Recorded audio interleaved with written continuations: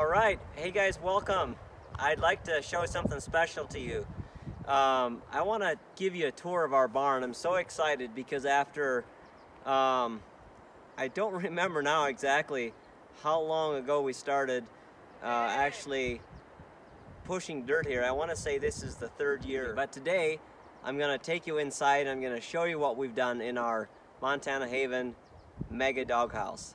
So a couple years ago, um, actually last year, we had, we had we, we finished the front of the barn here because we wanted to have our uh, 15th anniversary uh, celebration in front here and we have a video of that you can check it out. Um, but so we finished the front but we've been working on the inside ever since and now finally we're basically done. There might be a couple little things to do but we're, we're pretty much done. So come on inside. Let me show you what it looks like inside I'll just show you this landscaping real quick that we did here in front. Um, I really like the way it turned out and I know Priscilla's talked a little bit about that uh, in another video but it's just it was so fun to do this landscaping and make the front of the barn just super beautiful but uh, the inside is really what I want to show you so let's go, go ahead and get inside.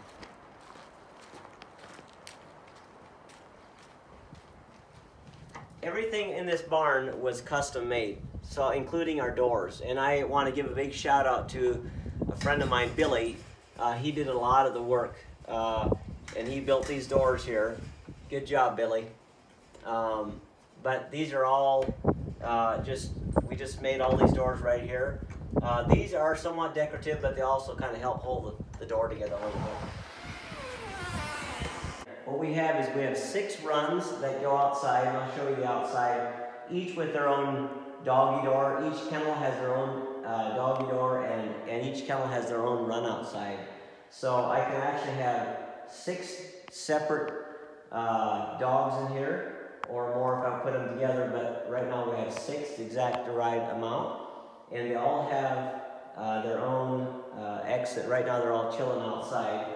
Um, this dog here, I've got something called Doro Whelp, and this, uh, they go inside there to have their babies, and I'll show you how they have their puppies. Uh, this, this little, um, these are disposable or washable uh, bottoms that I can take out of here, and so I can keep, keep uh, circulating and keep them clean, keep them washed. This rail here keeps the mother from laying all the way against the side because I have lost some puppies and I learned the hard way. This is super important. If you're gonna have puppies is to have a rail system like this. Otherwise, the puppies get in the corner and mom lays on them and smashes them. So that's, that's that is not a good, good plan. So that's what that rail is for. It keeps, helps keep the puppies uh, by themselves uh, out of the mom's way so that she doesn't lay on them accidentally. Uh, but these, these are um, really high-end doggy doors. They're double uh, magnetic flap, so they're, they're super duper insulated and um, they're expensive, but they're really good. And now one, one of the dogs are coming in here and they have to push a little bit to come in. Hi, Peaches. She's the mama that's about ready to have babies. Look how fat she is, like a little gopher. And this is a Schipperke. This is a cream colored Schipperke, and this is Montana peaches and cream right here. Just in a couple days, we're gonna have babies from her.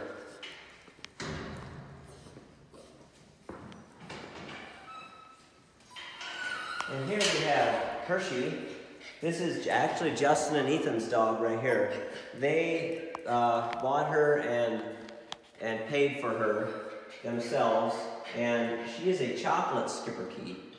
We actually have another uh, cream color Schipperke in here, and then we have a black Schipperke over here. Now here we have a, um, we can attach a hose right here, and we can wash this whole thing out. I have a drain right here in the center, and so everything washes down, and I can get everything washed, washed down. And I went and caulked all the way around the outside edge, the perimeter right here. And this is still wet, that's why it's white. It'll actually dry clear. Um, but um, that way when I wash it down, the water doesn't go up underneath anywhere. So it's completely, uh, it keeps the water from getting up underneath any of the exterior. So that's kind of the story there. We did custom, uh, we put copper pipes over everything. Uh, thought that would look really cool that for our watering system. So they each have individual shutoffs right here. So we can just go shut the water off or turn it on again for each individual water dish. And so they all always have fresh water at all times. They never run out of water. Excuse me, water that way. Um, here I've got a hay loft upstairs where we keep all our hay for our, our goats. So I just open that up. There's a stairway that drops down and then we can go right upstairs and get hay for the goats and we throw it out the front. Um, I'll show, I'll come in here and I'll show you this. Um, these are cabinets that I ordered and these cabinets were, are called RTA, ready to assemble. And so they all came in boxes, um, all disassembled, unassembled. And so I put them all, we put them all together ourselves. Okay, so we're putting our cabinets together and I got these RTA cabinets, ready to assemble cabinets. So I got them in, and they just come in boxes like you see here. And we're having to, to put all of them together. And so these are now all put together, and we have a few more cabinets to put together, and then we're gonna be done. So I got the boys helping me, they're doing a good job.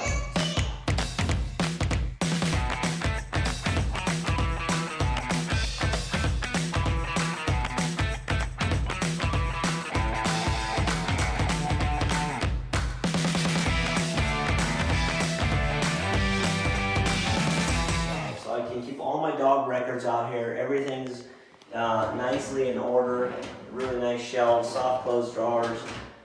Um, it's gonna be really cool. And then even if, then I have this room right here. If I ever need to have uh, my dogs in a separate whelping area, I'll just bring that box in here and I have a quiet place all inside here. I'll close the door and be completely quiet. They can have their puppies in here. I can throw a cot down. I can be in here with them if I want to, if they're having any trouble or anything. So let me show you the dog washing station next. I think you're gonna like this.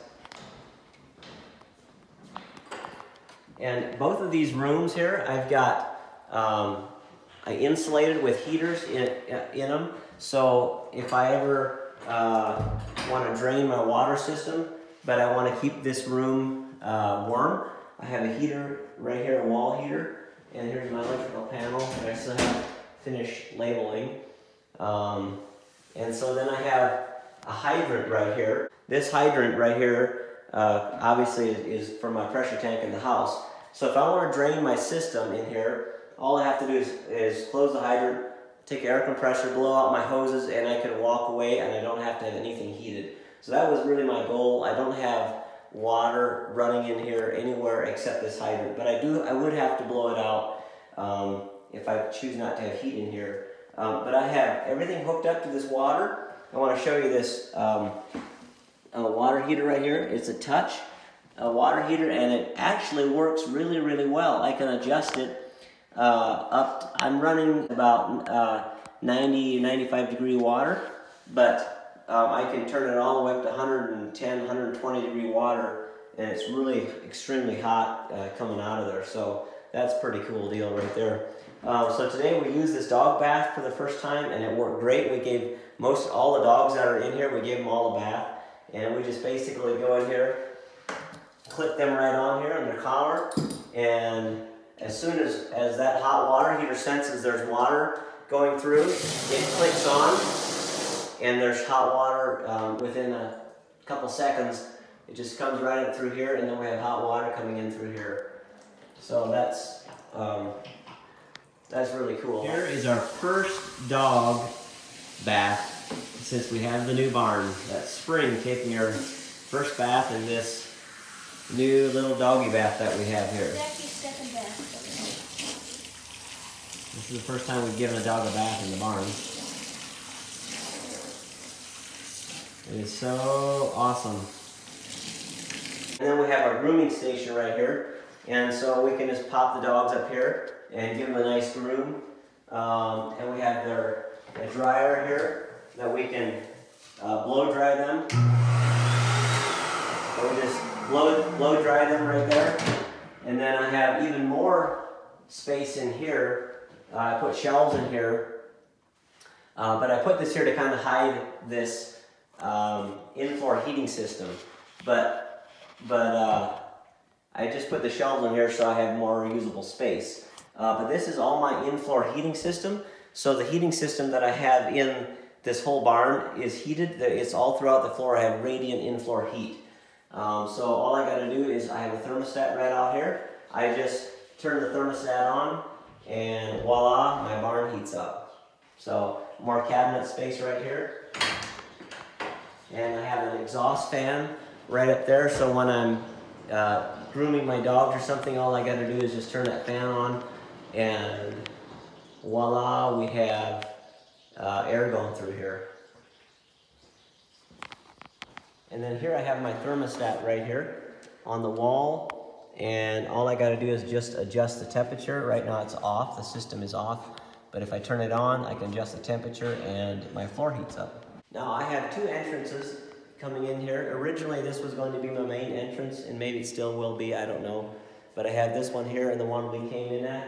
Um, I'll probably, if you come here and you buy a puppy from me, I'll probably have a nice couch right here and you can sit down and get some puppy love right here and play with your puppies and then you can be on your way. Um, but that's kind of why we have this area here. We want to make it a nice little nook so that it's a nice comfortable place for people to come in, sit down, enjoy their puppies and um, just kind of chill while they're here and then have a great experience and with their puppy and then then they can go home after that. So there you go. Hope you like my barn.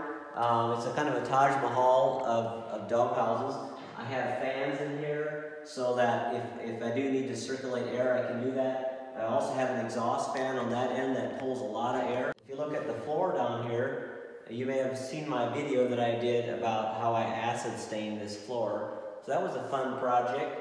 Um, I basically took spent a lot of time cleaning it and then I went and uh, I put um, a, a, brown and then also a green seagrass in here to try to get this cool look.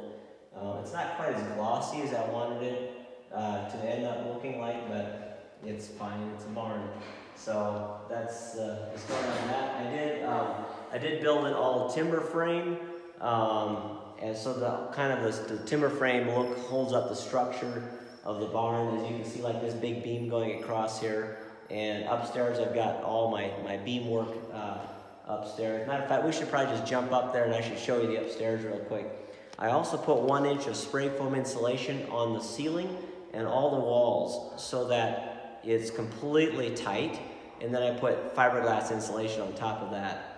So uh, it's very well insulated with the floor uh, heat. It doesn't take much to heat it. So we can keep it I won't keep it warm, but I keep it, you know, 50 degrees or so this winter here for the dogs. And then with the lights, I wanted a lot of lights. So when we come in here, I've got it on two separate switches. That half is on one switch and this half is on another switch. So when we come in here, if we don't want to have that, turn that on, we can just turn this on. Um, but I wanted it really nice and bright so we can see everything. It looks really bright, doesn't look dim in here. Uh, one more thing that I have is I have a sound system, a speaker system throughout this whole place. And I don't have that hooked up yet, but there's wiring in throughout for like six speakers. And all I have to do is get that hooked up eventually and I can play music out here so the dogs are really happy with some music. So let me uh, show you, I'll take you upstairs and I'll show you the, how the upstairs looks. So I have this rod hanging right here. I just drill a hole right there and pop it in there. And all I gotta do is I stick it up in this hole right here turn it. And there comes my ladder. Just like that. Just go like that. And there is my ladder. And we can go right up here. It's a really strong ladder. You can see my hay is up in here. And um, right now, I had this completely full last year, but the goats ate all of this from this end all the way back to there. So they ate about half of what I brought in here. But this year I want to put some more in here, some second cutting. But you can see how my post and beam is set up up here. Um, I do have some lights up here. They're not, it's actually, you know what, it might, I've never turned them on yet. Let me see, let me hit the switch right here. See if the lights come on. Check it out. I've never turned them on. Billy hooked them up and I didn't even know that. That is so cool. I did not realize that my lights worked up here. So that is that's cool, way cool. And then all I have to do is just open up these doors and I can bring hay in or take hay out. And um, that's kind of the story on that. So eventually this could be, this may be uh, at some point in the future, it could be living quarters or all we have to do is insulate it and you know probably do an exit out the out the side or something so we could go in and out uh, out the side. But this could be living quarters or a music studio or something like that. Maybe you never know. Someday it'll be uh, a different use for a barn. So I wanted to build it to where it would be um, you could use it for that eventually. So that's the story right there. I hope you like this video. Um, I did think about it some more and I looked at the concrete and yes, this is only the second year. In August next month, two years ago, uh, in 2018, this is 2020, so two years ago we started, uh, we poured the concrete. So about right now, this time, two years ago, I started pushing dirt. So yeah, it's been about a two-year project and so happy that it's almost wrapped up. We still have to clean off the wings. There's a lot of stuff that we kind of piled out there. Um, just from working in here, all the tools and miscellaneous things. This, this side up here, I'll have firewood in the back, stashed in the back part of it. And this area here, I'll just probably have the front parts on the on my outside leans. I'll have those uh, available where I can park my vehicles in under the winter uh, for now until eventually we build a garage. So that's that. I hope you enjoyed it, and I think we'll get out of here. I do want to show you one more thing over here.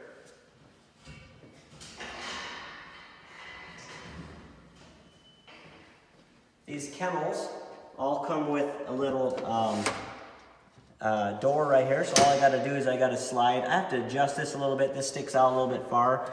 But all I've gotta do then is I've just gotta slide this up and then they can get in and out. And if I'm not, if they're not going in and out, I just put this cover on. It helps keep it insulated.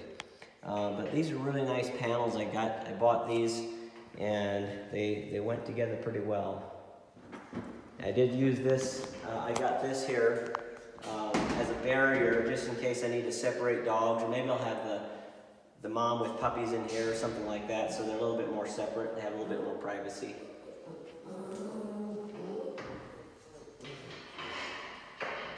I think Peaches is checking out her little pad right there because she's about ready to have babies. These dog beds right here are really nice.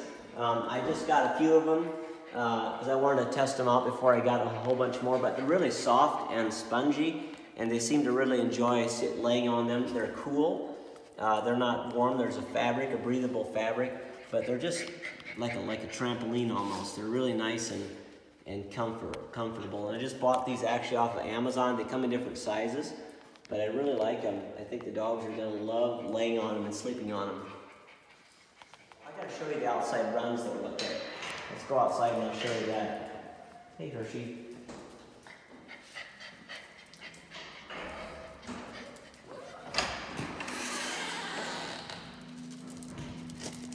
Hi. She just had puppies. She's a little bit skinny because she just had puppies. Um, so she's got some time to recuperate. And there's Spring over there. She's our black Schipperke. But yeah, if you look out here, they all have each their individual runs here. Some are a little bit bigger than others, but I tried to kind of get them fairly equal. And y'all can go in and out, and we have this chain link, and we, we clean the uh, poop each day. We, we pick it up so everything's nice and clean out here. And this gravel, this round gravel, is easy on their feet. Uh, besides, all the urine soaks down and it's, it stays really clean. So we have about four to six inches of gravel in here um, so that it's always super clean. Um, but yeah, we it's a pretty good system. We like it, and we have a, a taller exterior, so no bad dogs can try to crawl in or these can crawl out. Um, but we haven't any problem with anybody trying to cross the fence, so um, it's working pretty good so far. There you can kind of see my beam work in the back as well. But anyways, thanks so much. I hope you enjoy it, and uh, hope you like the barn. Comment, let me know what you think. If you need a barn like this, I might come and build you one. But again, then then again, I might not because it was a lot of work. So, anyways, I hope you enjoy it. Thanks so much for watching. And I would I did want to mention. Uh, don't forget that we have a website for our Labradoodles. So our Labradoodles, two of them are right here. This is Blessing on the left and Mr. Moose on the right. And Moose and Blessing are Australian Labradoodles. It's about time for haircut again. Um, we give them a haircut every few months, and it's about that time. Uh, but we have a we have a website. It's called Montana Haven Labradoodles.com, and this is for our our Labradoodles. I don't have a website for our Schipperkes because I always I've had I've raised Schipperkes for so many years, and I've always had a waiting list for Schipperkes. I've never had a, a problem selling my Schipperkes. Um, they're really good dogs. They're really smart. I've, I've had Schipperkes since I was I got my first one when I was nine years old. So I've had these for many years. I know a lot about uh, Schipperkes, their personalities, and and uh, they're really really good dogs. So really enjoy them. Um, but like I said, I, I don't, if you're interested, just message me. Um, I do have some puppies coming up. I think they're probably already all sold, but sometimes uh, things change for people and I have a puppy or so left over, but I always have no problem selling them.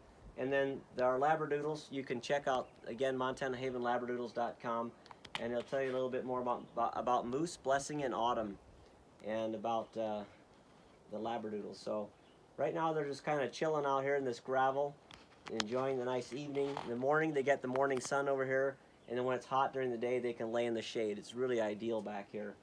So that's the story of that. So thanks for watching, and uh, we hope you enjoy watching our videos and our dogs. What do you think, Hershey? Hershey should be pregnant too, so if you want a chocolate Schipperke, we're hoping in about three weeks that Hershey here will have babies. So I'm not completely sure this will be her first litter, um, but she doesn't look super fat, so I'm thinking maybe she might not have as many, but she does look pregnant to me. So I think she's going to have a few. But I know Peaches, that'll be about her third litter over the years, and she's probably going to have about five or six, I would think.